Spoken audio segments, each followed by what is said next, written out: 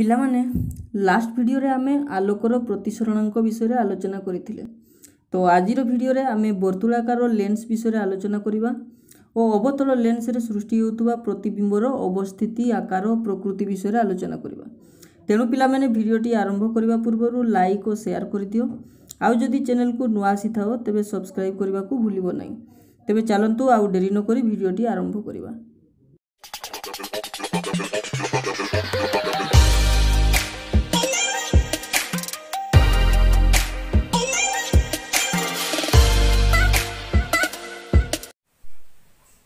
ଦେଖନ୍ତୁ ପିଲାମାନେ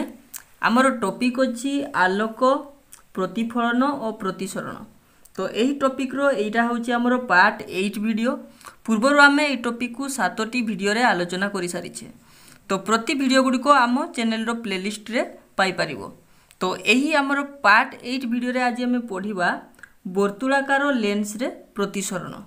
ତ ବର୍ତ୍ତୁଳାକାର ଲେନ୍ସରେ କିଭଳିଆ ପ୍ରତିସରଣ ହେଉଛି ତ ଏଇ ଟପିକ୍ରେ ଆମେ ଆଲୋଚନା କରିବା তো ତା ପୂର୍ବରୁ ଆମେ ଜାଣିବା ଲେନ୍ସ କ'ଣ ତ ଲେନ୍ସ ହେଉଛି ଦୁଇଟି ପୃଷ୍ଠ ଥିବା ଏକ ସ୍ୱଚ୍ଛ ପ୍ରତିସରଣକାରୀ ମାଧ୍ୟମରେ ଯଦି ଗୋଟିଏ ପୃଷ୍ଠ ଓ ଉଭୟ ପୃଷ୍ଠ ବକ୍ର ହୋଇଥିଲେ ତାକୁ ଆମେ ଲେନ୍ସ କହିବା ତ ଅର୍ଥାତ୍ ଲେନ୍ସ ହେଉଛି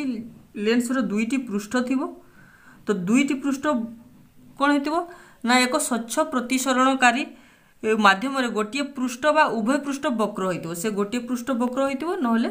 ଉଭୟ ପୃଷ୍ଠ ବକ୍ର ହୋଇଥିବ ଏଭଳିଆ ତ ତାହେଲେ ଏହାକୁ ଆମେ କହିପାରିବା ଲେନ୍ସ ତ ଇଏ ଗୋଟେ ପୃଷ୍ଠ ଇଏ ଗୋଟେ ପୃଷ୍ଠ ଏଇଠି ଆମର କ'ଣ ହେଉଛି ନା ଉଭୟ ପୃଷ୍ଠ ବକ୍ର ହେଉଛି ତ ଏହାକୁ ଆମେ ଲେନ୍ସ କହିବା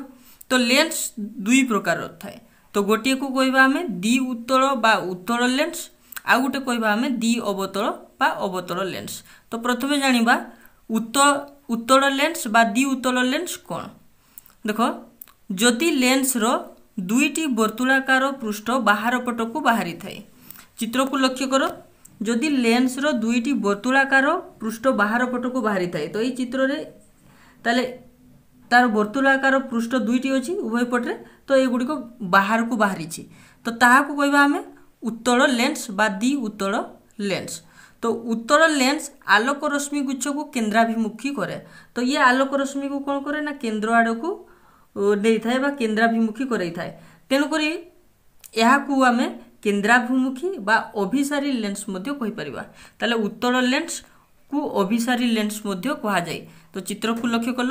ସେଇଭଳିଆ ଯଦି ଆମେ ଦେଖିବା ଦ୍ୱି ଅବତଳ ବା ଅବତଳ ଲେନ୍ସ ଦ୍ୱି ଅବତଳ বা অবতল লেন্স তো দ্বি অবতল লেন্স কোণ না দ্বি অবতল বা অবতল লেন্স হচ্ছে যদি লেন্সর দুইটি বর্তুলাকার পৃষ্ঠ ভিতর আড়ক পশি যাই থাকে ଯଦି ଦୁଇଟି ଯାକ ଆମର କ'ଣ ହେଉଛି ନା ଭିତର ଆଡ଼କୁ ପ୍ରବେଶ କରିଥାଏ ଏଇଭଳିଆ ତ ତାହାକୁ କହିବା ଆମେ ଅବତଳ ଲେନ୍ସ ତ ଅବତଳ ଲେନ୍ସକୁ କ'ଣ କୁହାଯାଏ ନା ଅପସାରୀ ଲେନ୍ସ କାହିଁକି ନା ଇଏ ଆଲୋକ ରଶ୍ମିକୁ ଅପସାରଣ କରିଥାଏ ତ ଏହାକୁ ଆମେ ଅପସାରୀ ଲେନ୍ସ ମଧ୍ୟ କହିଥାଉ ତାହେଲେ ଅବତଳ ଲେନ୍ସ ହେଉଛି ଏଇଭଳିଆ ତ ଏଠି କ'ଣ ହେବ ନା ଇଏ ଆଲୋକ ରଶ୍ମିକୁ ଅପସାରିତ କରେ তো অর্থাৎ এভাবে যদি আলোকরশ্মি প্রবাহিত হব তাহা অপসারিত হব কেন্দ্র আড়ক যাবনি কেন্দ্র আড়ক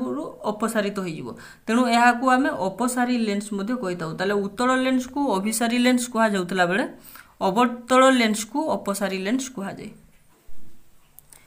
দেখ এবে এই চিত্রটি লক্ষ্য কর তো এই চিত্রটি হচ্ছে গোটিয়ে অবতল লেন্সর চিত্র তো এটি কম হচ্ছে না আলোকরশ্মি পৃষ্ঠ আড়ক প্রবাহিত হয়ে ତାହା ଅପସାରିତ ହୋଇଯାଉଛି କେନ୍ଦ୍ରଠାରୁ ଦୂରେଇ ଯାଉଛି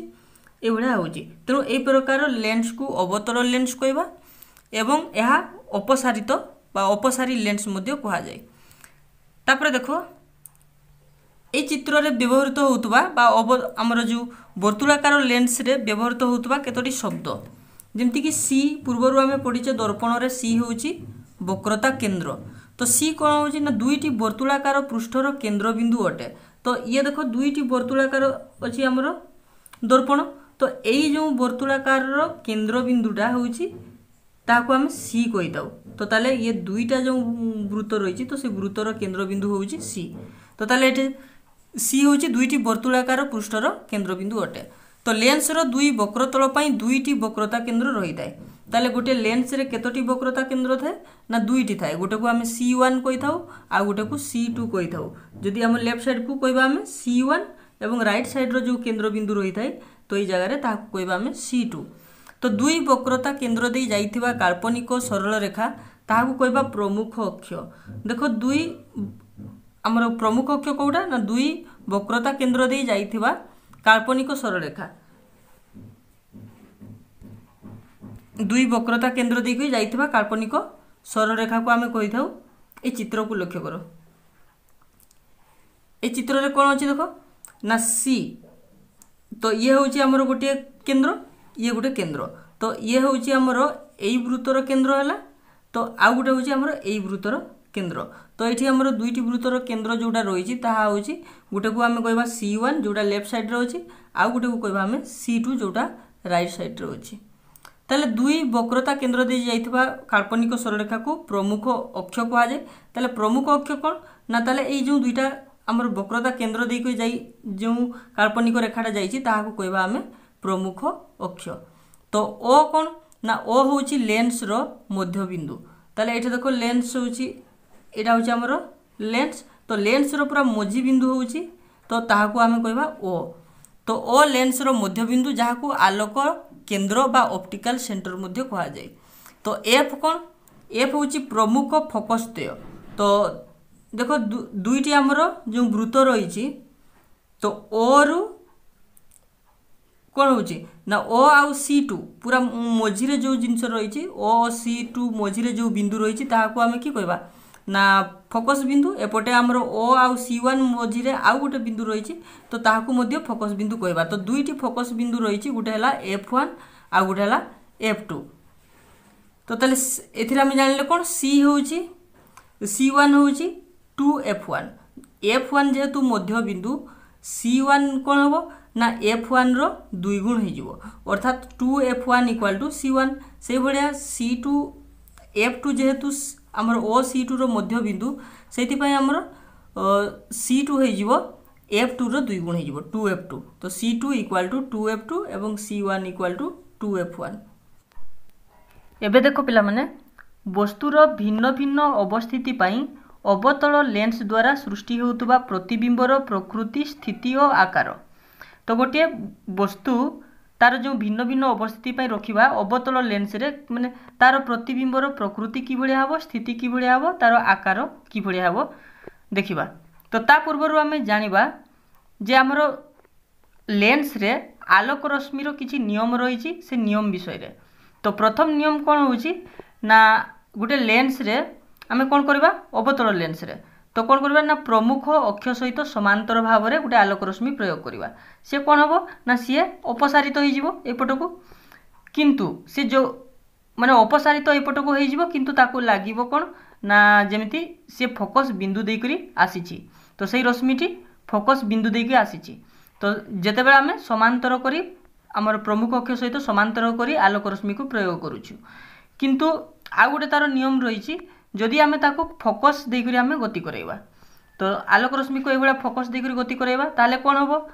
ନା ତାହେଲେ ଏଇପଟକୁ ଅପସାରିତ ହୋଇଯିବ କାହା ସହିତ ନା ଏଇ ପ୍ରମୁଖ ଅକ୍ଷ ସହିତ ସମାନ୍ତର ଭାବରେ ସେ ଗତି କରିବ ଯେତେବେଳେ ଫୋକସ୍ ଦେଇକରି ଆମେ ଆଲୋକ ରଶ୍ମିକୁ ଗତି କରାଇବା ସେ ପ୍ରମୁଖ ଅକ୍ଷ ସହିତ ସମାନ୍ତର ହେବ କିନ୍ତୁ ପ୍ରମୁଖ ଅକ୍ଷ ସହିତ ସମାନ୍ତର ଦେଇକରି ଆମେ ଯଦି ଗତି କରାଇବା ତାହେଲେ କ'ଣ ହେବ ନା ସେ ଫୋକସ୍ ବିନ୍ଦୁ ଦେଇକରି ଆସିବ ଆଉ ଗୋଟେ ନିୟମ କ'ଣ ଅଛି ନା ଆଉ ଗୋଟେ ନିୟମ ଅଛି ଆମେ ଆଲୋକର କେନ୍ଦ୍ର ଦେଇକରି ଆମେ ଗତି କରେଇବା ଓ ଦେଇକରି ତ ଓ ହେଉଛି ଆଲୋକର କେନ୍ଦ୍ର ତ ଆଲୋକ କେନ୍ଦ୍ର ଦେଇକି ଯେତେବେଳେ ଆମେ ଗତି କରାଉଛୁ ସେତେବେଳେ କ'ଣ ହେଉଛି ନା ସେଇ ଆଲୋକ ରଶ୍ମି ସେ ଯେଉଁ ପଟକୁ ଯାଇଥିଲା ସେ ସେଇ ପଟ ଆଡ଼କୁ ଫେରି ଆସିବ ଅର୍ଥାତ ତା'ର ଯିବା ଆଉ ଆସିବା ରାସ୍ତା ଗୋଟିଏ ହେଇଯିବ ତ ତାହେଲେ ଆଲୋକ ଆଲୋକ କେନ୍ଦ୍ର ଦେଇକରି ଆମେ ଅବତଳ ଲେନ୍ସରେ ଗତି କରାଇଲେ ତାହେଲେ କ'ଣ ହେଉଛି ନା ସେ ଯେଉଁ ପଟ ଦେଇକରି ଯାଇଥିଲା ସେ ସେଇ ପଟକୁ ଫେରି ଆସିବ ତ ଇଏ ଥିଲା କେତୋଟି ନିୟମ ତ ସେଇ ନିୟମକୁ ଅନୁଧ୍ୟାନ କରି ଆମେ ଦେଖିବା ଅବତଳ ଲେନ୍ସରେ ସୃଷ୍ଟି ହେଉଥିବା ପ୍ରତିବିମ୍ବ ତା'ର ପ୍ରକୃତି ସ୍ଥିତି ଓ ଆକାର ବିଷୟରେ ତ ଇଏ ଦେଖ ଗୋଟିଏ ଅବତଳ ଲେନ୍ସ ବସ୍ତୁକୁ ଆମେ କେଉଁଠି ରଖିପାରିବା ତା'ର ଅବସ୍ଥାନ କେଉଁଠି ନା ପ୍ରଥମେ ଆମେ ରଖିପାରିବା ବସ୍ତୁ ଅନନ୍ତ ଦୂରତାରେ ତ ବସ୍ତୁକୁ ଏଠି ଦେଖ ଅନନ୍ତ ଦୂରତାରେ ରଖାହେଇଛି ତ ବସ୍ତୁକୁ ଅନନ୍ତ ଦୂରତାରେ ରଖିଲେ ତାହାର ପ୍ରତିବିମ୍ବ କେଉଁଠି ତିଆରି ହେଉଛି ଦେଖିବା ତ ପ୍ରଥମେ କ'ଣ କରିବା ନା ପ୍ରମୁଖ ଅକ୍ଷ ସହିତ ଆମେ ଆଲୋକ ରଶ୍ମି ପ୍ରୟୋଗ କରିବା ତାହେଲେ ପ୍ରମୁଖ ଅକ୍ଷ ସହିତ ଯେଉଁ ରଶ୍ମିଟି ଯାଇଛି ସମାନ୍ତର ଭାବରେ ତ ତାହା କ'ଣ ହେବ ନା ତାହା ଏଭଳିଆ ଅପସାରିତ ହୋଇଯିବ କିନ୍ତୁ ତାହା ଫୋକସ୍ ଦେଇକରି ଆସିଥିବ ତ ଇଏ ଗୋଟେ ଆମର ଆଲୋକ ରଶ୍ମି ମିଳିଗଲା ଯେଉଁଟା ଆମର ଅପସାରିତ ରଶ୍ମି ଆଉ ଗୋଟେ ଆମେ କରିବା ସେଇଭଳିଆ ପ୍ରମୁଖ ଅକ୍ଷ ସହିତ ସମାନ୍ତର ଭାବରେ ସିଏ ମଧ୍ୟ ଅପସାରିତ ହୋଇଯିବ ତ ଇଏ ମଧ୍ୟ ଫୋକସ୍ ବିନ୍ଦୁରୁ ଆସିଥିବ ତାହେଲେ ଦୁଇଟି ଯାକ আলোক রশ্মি কোউঠি মিলিত হবে তার প্রকৃত আলোক রশ্মি কোউঠি বি মিলিত হবে না কিন্তু যেগুড়িক আমার কল্পনা করিথিবা যে এইপটু আসুচি তো সেমানে উভয় ফোকসরে মিলিত হয়েছন্তি তাহলে যেউঠি মিলিত হয়েছন্তি তাহলে সেইটি প্রতিবিম্ব তৈরি হয়েছি তাহলে এবে দেখো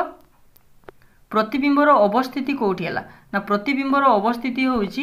ফোকস বা এফ ওয়ান ঠারে তাহলে এইটি আমার প্রতিবিম্ব তৈরি হেলা এবং প্রতিবিম্বর আকার কিভাবে হেলা ନା ପ୍ରତିବିମ୍ବର ଆକାର ହେଉଛି ଅତ୍ୟନ୍ତ କ୍ଷୁଦ୍ର ଓ ବିନ୍ଦୁ ସମ ହେଲା ଅତି କ୍ଷୁଦ୍ର ଗୋଟିଏ ବିନ୍ଦୁ ଭଳିଆ ପ୍ରତିବିମ୍ବ ତିଆରି ହେଲା ଆଉ ପ୍ରତିବିମ୍ବର ପ୍ରକୃତି କିଭଳି ହେବ ନା ସବୁବେଳେ ଆଭାସୀ ହେବ ସଳଖ ହେବ କି ପାଇଁ ଆଭାସୀ ହେବ ନା ଯେହେତୁ ଏହା ଯେଉଁ ବାସ୍ତବ ଆମର ଯେଉଁ ପ୍ରତିଫଳିତ ରଶ୍ମି ତାହା କୌଣସି ଜାଗାରେ ଛେଦ କରୁନାହାନ୍ତି ତ ଏ ଆମର କାଳ୍ପନିକ ଯେଉଁ ରହିଛି ଆଲୋକ ରଶ୍ମି ତାହା ଛେଦ କରୁଛନ୍ତି ଫୋକସ୍ଠାରେ ତେଣୁକରି ଏ ଆମର ବାସ୍ତବ ବାସ୍ତବ ପ୍ରତିବିମ୍ବ କେବେ ବି ହେବ ନାହିଁ ଏହା ହେବ ଆଭାସୀ ପ୍ରତିବିମ୍ବ ଆଉ ସବୁବେଳେ ସଳଖ ହେବ